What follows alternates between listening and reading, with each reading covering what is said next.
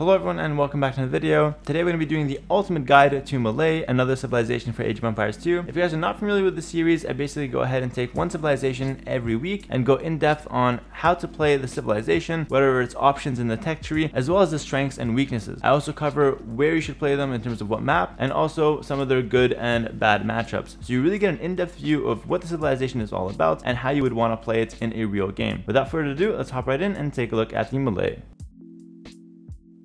So starting things off, we can see that Malay are classified as a naval civilization, but in reality, they're a lot more than that. Their first bonus is that they advance to the next age 66% faster. This is a really interesting bonus, and I'm going to go a little bit more in depth on it later on in this video. The next bonus is that fish traps cost minus 33% and provide 3 times food. This used to be providing infinite food, but it's been changed to 3 times food. It's still a really good bonus, and in drawn out games, you might have to refresh them a couple times, but in general, it's going to be a really efficient way to convert your wood into food. And then their third bonus is that Battle Elephants cost minus 30% in Castle Age and minus 40% in Imperial Age, a really heavy discount, but it's balanced out by the fact that you don't get as many upgrades for those Battle Elephants as you might expect. The unique unit is the Karambit Warrior, and we'll talk about him a little bit more in the tech tree when we see him. The unique techs are as follows. In Castle Age, Thalassocracy, which gives your docks the ability to upgrade into harbors, basically making them like guard towers, giving them the ability to fire arrows in a shorter radius. And then in Imperial Age, they get the unique tech called Forced Levy, which makes the militia line cost no gold and instead replaces replaces the gold cost with additional food cost, a really strong option in late game when gold starts to run out. And then their team bonus, which gives their docks 100% extra line of sight. This also applies in 1v1 because you are considered to be a part of your own team. Moving on now to the tech tree, let's see what they have as far as options goes. In the archer range, they have really strong arbalest right off the bat with elite skirmisher fully upgraded with thumb ring, but you're missing a lot in terms of other options. No elephant archer, no hand cannoneer, no heavy cav archer, no Parthian tactics, so you're really streamlined into foot archers and skirmishers. For their barracks, it's really quite simple. You have two-handed swordsmen and halberdier fully upgraded. You're only missing champions, but you have everything else. And remember, the two-handed swordsmen do benefit from forced levy, which is a really key part of Malay's super late game. Their stable's not that impressive though, with only light cav and cavalier teched into, no bloodlines available whatsoever, and you do get access to elite battle elephant, but wait till you see the blacksmith. This is not really as great as it seems. However, it is a solid option, especially with that massive discount that you're getting in Castle Age and Imperial Age. Moving on now to the Siege Workshop, you see that they have Capped Ram, Onager, Heavy Scorpion, and Bombard Cannon. So you have pretty good siege overall. You're just missing that heavy late game siege like Siege Ram and Siege Onager, but it's really not the biggest deal ever. You do get Bombard Cannon, which is pretty good. Moving on now to the Blacksmith, you get everything except chain barding armor and plate barding armor. Really big hit to their cavalry line, and in my opinion, it makes it so their cavalry is pretty useless in most cases, so it's very situational. But their elephants, like I said, are still pretty good. I would say that they're just going to be really weak against archer units and naturally against monks because they're elephants. But against melee units, their elephants will be great to take out bases. Their elephants are going to be great nonetheless. Their dock is extremely solid though. You have access to all the upgrades and all the units except heavy demo ship. And then as far as university goes, you get all the key options. So bombard tower, siege engineers, and keep, missing only a couple random upgrades. Okay, let's talk about their Karambit warrior a little bit more now. So the Karambit warrior is their unique unit and it's actually quite unique. This unit only takes half a population spot. So if you have two Karambit warriors, that counts as one population. If you have four, it counts as two, so on and so forth. It's a very cheap and spammable unit, costing only 25 food and 15 gold, but it has very weak stats at 30 HP and 7 attack base. Elite version gets upgraded a little bit from that. The big thing you need to understand about the Karambit Warrior is that it's going to be amazing to counter certain infantry units like Eagle Warriors for example, but it's going to be weak against heavy cavalry and mass archers. It could be okay versus mass archers if you can out spam those archers and kind of overwhelm them before they can thin out your numbers, but in general you probably want to use this unit to overwhelm armies and go for some sneak attacks because of how cheap and spammable they are. Their main use though in competitive games is really just to counter units like Huskarls or Eagle Warriors and this kind of like anti-archer infantry units. Moving on now to the monastery, we can see that they have all the upgrades except Fervor and Theocracy, so very solid options from the monastery in general. And then as far as late game economy upgrades, you have everything except Two-Man Saw, so quite solid in that department as well. Alright, now that we've taken a good look at the tech tree, let's talk a little bit more about Malay in terms of their strengths and weaknesses and how you would want to actually play the Civ out in a real game.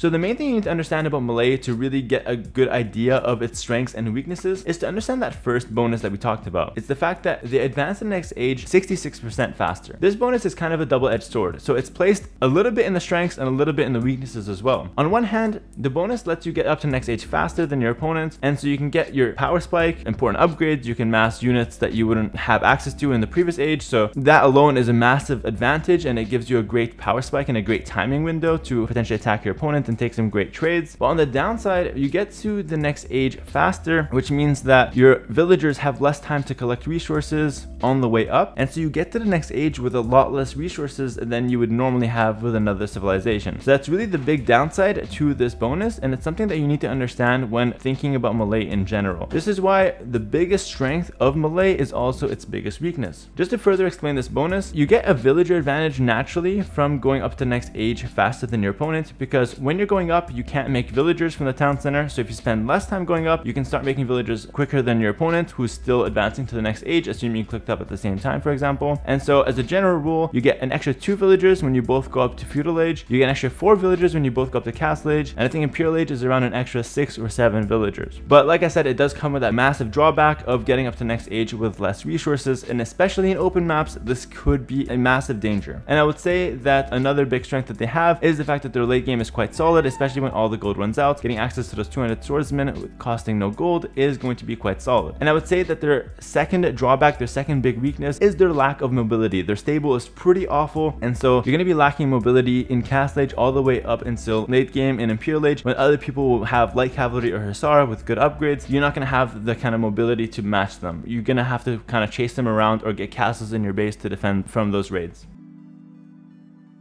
Alright, moving on now to the big power spikes for Malay. When should you look to attack and when should you look to kind of seek advantage or force fights? This is really simple. It's basically at the start of every age because like I said, Malay is getting to the next age faster, which is going to be your main power spike as well. So it's very simple with Malay. Your power spike is at the start of every age.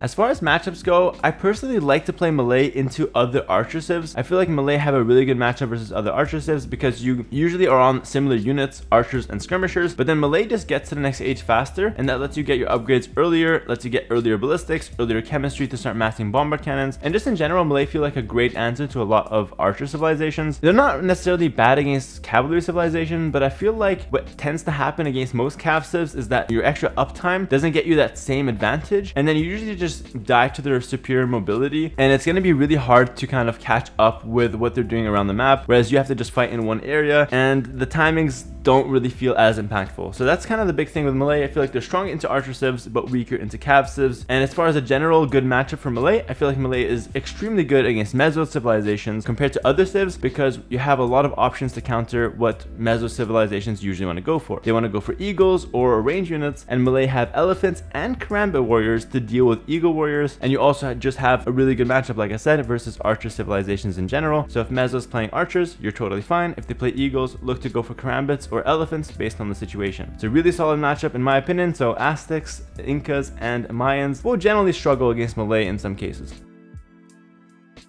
As far as maps that Malay are really good on, in my opinion, they're going to be pretty good on all water maps because Malay is, at the end of the day, a good naval civilization with their fish trap bonus being extremely solid, as well as their uptime letting you get up to feudal age really fast and going for like galleys or fire galleys faster than your opponent. Usually just lets you win water against most B tier water civs, but some civs like Italian, Portuguese, Vikings can keep up with the fast-paced Malay, so Malay is nowhere near like the best water civ, but maybe something like top 5, top 6 water civs. Malay is somewhere around there. And then for certain maps that are hybrid, you know, a little bit of water, a little bit of land, Malay is also very good because just getting up to next age lets you win water quite quickly and then focus on land right after. So I would say any kind of hybrid or pure water map Malay is going to be extremely solid on. And then the other map that you might not think Malay is very good on is actually Arena. They're extremely good on maps like Arena and Hideout because you basically go unpunished with your faster uptime. So even though you get to next age with less resources, it's very hard for them to punish you and break your walls and kind of force you to fight them before your uptime time pays off and for your faster tech your faster town centers tend to pay off. So just on these booming maps like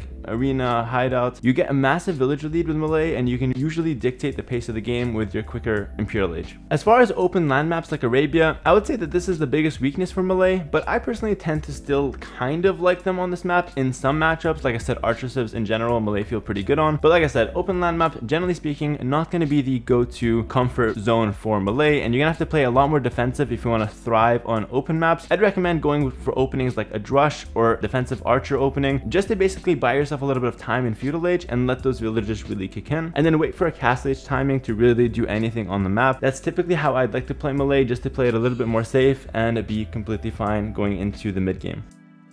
So just in conclusion, I feel like the Malay are a pretty strong archer civilization in general, with some really interesting options going into the mid and late game. Generally speaking, they're going to be good in slower paced games where you're able to buy yourself a little bit more time and kind of get out of those danger timings where other civs are looking to pounce on you. And Malay is especially good when it's able to dictate the pace of the game with its extremely strong Castle Age and Imperial Age timings. Make sure to utilize Malay to its full potential, especially going into that late game with some of its extremely strong trash options like the two-handed swordsman and the cheap That's to be it for this video, guys. Thanks for watching this guide on Malay, and stay tuned for next week where I cover a different civilization. Take care, and bye for now.